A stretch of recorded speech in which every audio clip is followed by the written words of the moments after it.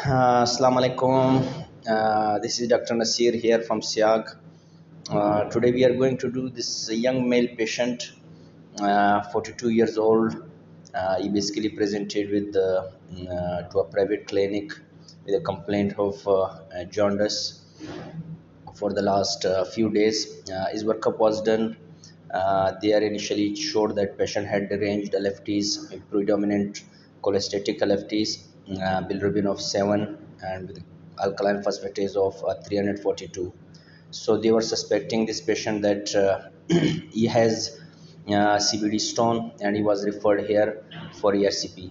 So we are going to perform his ERCP. As you can already see that uh, I am the duodenum due to uh, but we have i think incidental finding that was missed on ultrasound and ultrasound is also not that much sensitive so you can appreciate that there is a bulge uh, very much uh, uh, protrudent uh, bulgy ampulla uh, with nodular surface. It looks like uh, this patient might not have uh, cbd stone but it looks like a case of a papillary adenoma. You can appreciate the surface pattern. It does not show that it will be malignancy, but mostly it uh, appearance are suggestive of papillary adenoma. But we will not be sure until unless we have the biopsy report. So we will do. So our plan uh, is now changed from the CBD stone. Uh, so we are now more uh, looking towards the papillary adenoma, and our target will be to cannulate this patient. After that, we'll place the stent and take the biopsies. So uh, now we'll cannulate this patient ampulla. We are I'm looking around and finding the best place uh, because uh, an ampullary adenoma and especially ampullary carcinoma, uh, there are various uh, small openings and the ampullary shape is somewhat distorted. It is not like uh, that of a normal ampulla. So you have to be careful uh, while cannulating so that you cannot you will unincidentally might develop a false streak. So now i will try to see whether I can calculate it, cannulate this in first go or not. Now this looks to me a better place uh, for the cannulation. We'll see how it goes.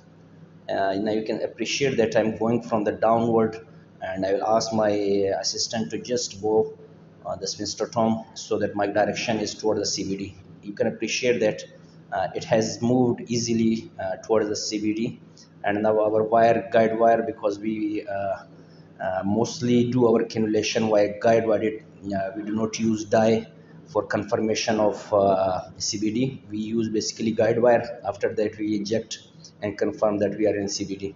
You can appreciate on the side uh, fluoroscopy image that our guide wire is already in, inside the CBD. Now we'll try to inject and see uh, whether we have uh, uh, this only ampullary adenoma finding or there is concomitant uh, CBD stone as well. So uh, I will not uh, try to do sphincterotomy in this patient uh, because already I uh, before uh, uh, I discussed it that in a case of ampullary adenoma or malignancy we do not do sphincterotomy because it will it will alter the management. If this patient has ampullary adenoma and he is endoscopically um, resectable so i will not try to uh, do this sphincterotomy i will just take the biopsies to confirm the diagnosis whether i have uh, ampullary adenoma or carcinoma. After that uh, our next step in case of malignancy if it comes out that it is malignant then our next step will be to do this patient endoscopic ultrasound uh, to check whether this patient is endoscopically uh, treatable or not whether the, the, the tumor is extending uh, inside the cbd and the pancreatic duct or it is localized uh, it is uh, not uh, extending from the muscularis propria. Uh, in that case we can do is endoscopic ampullectomy in other case when the patient on ct scan or endoscopic ultrasound it shows that it is inside the cbd or pancreatic duct and then our plan will be to ask the hepatobiliary surgeon to proceed for the Whipple surgery. Now you can appreciate easily we can see there is a dilated duct massively dilated duct. In case of so much dilatation uh, the dye does not completely fill because it is so much dilated when we do not want to uh, inject so much dye inside because of the chances uh, are there that my patient might develop cholangitis. So I will not put more, more dye because already I have seen that the proximal duct is so much dilated and uh, now will, our plan will be uh, to keep the sphincterotome, uh, keep the guide wire inside. Now you can appreciate that I'm just slowly, slowly pulling back the sphincterotome uh, and my assistant will keep the guide wire inside the CBD.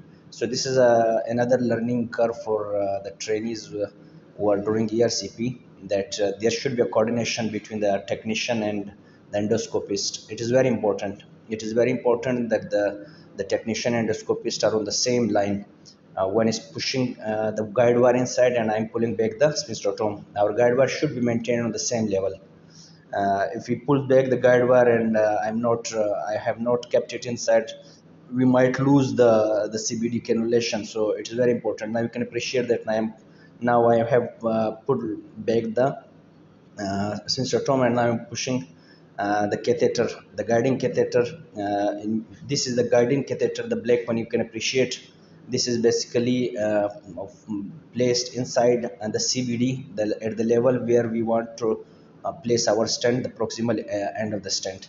Now you can appreciate after some time you will see now I will ask him to unlock the the the, uh, the, the, the stent now you will release the stent and I will push the stent inside uh, so this is also another uh, coordination between the technician and endoscopist now you can see I'm pushing the sphincterotome uh, pushing the stent inside and he's pulling back the guiding catheter so this is the same way like uh, already discussed uh, for the guide wire and sphincterotome the same applies here for the stent placement the coordination is very much important now you can appreciate that I have almost uh, uh, place the stent inside the CBD.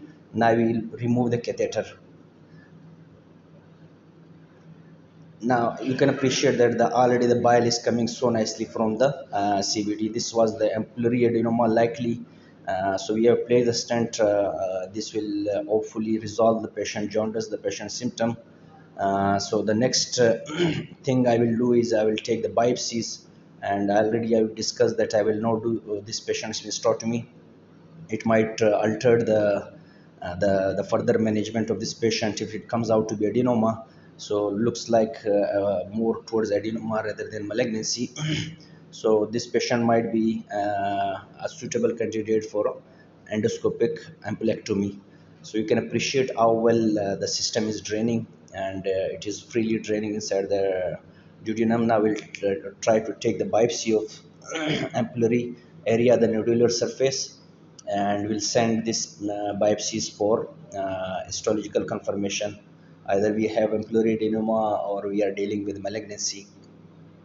So this is a, uh, a, also another important thing that you, you, should be targeting those areas where you find that it might be more uh, um, the, the patient might have the biopsy will be positive you have to target those uh, surface area which is more nodular uh, which the pit pattern or the surface pattern looks like more distorted so it will have a high yield of uh, uh, the, the positivity rather than from the normal mucosal surface. Now you can appreciate that I am taking biopsies uh, from the uh, just above the stent where I find that it looks like more nodular. And uh, one important point as I already discussed with you that uh, you might uh, find something uh, this uh, type of incidental finding in your case because the patient was presented with the suspicion of CBD stone young male uh, deranged LFT CBD showed dilated CBD although did not show the CBD stone because the sensitivity of ultrasound to detect CBD stone is only 50 percent. So this is this was basically an incidental finding adenoma it is all, almost most of the time it is missed. Uh, CT scan can appreciate it that there is a protrudent ampulla but ultrasound does not have that much uh, capability to detect uh, whether the patient is having ampullary adenoma or periampullary carcinoma CT scan is a modality but we usually do not do CT scan in the first instance in which uh, uh, we have deranged LFTs although if the suspicion is high we are suspecting that this patient might have malignancy or hilar stricture, hilar growth. In that case, uh, we should go for CT scan, NMRCP uh, to find out how much uh, duct involvement is there for, uh, especially for the Klatskin tumor. so in this case uh, you can uh, see because we are we were going for the CBD stone but we find out that this is, uh, likely this patient might have ampullary adenoma uh, so we will take biopsy and we'll wait for the biopsy report. If the biopsy report comes out to be positive uh, then we'll further treat this patient according to that. Uh, you can see you can appreciate that this bile is um, draining very well from the the stent that we have placed and it was uh, uh, discussed earlier that it was an incidental finding, not uh, that we were going to do this patient case like that. We were suspecting that this patient might have CBD stone, but it turns out to be that it is uh, basically a adenoma that has caused these deranged LFTs and patient symptoms. Uh, hopefully this will be a, a, good case for presentation and uh, you can appreciate uh, this uh, picture. And it will be also a learning curve for the trainees as well. Thank you very much for watching this. Hopefully a biopsy report will come and share with you as well. Thank you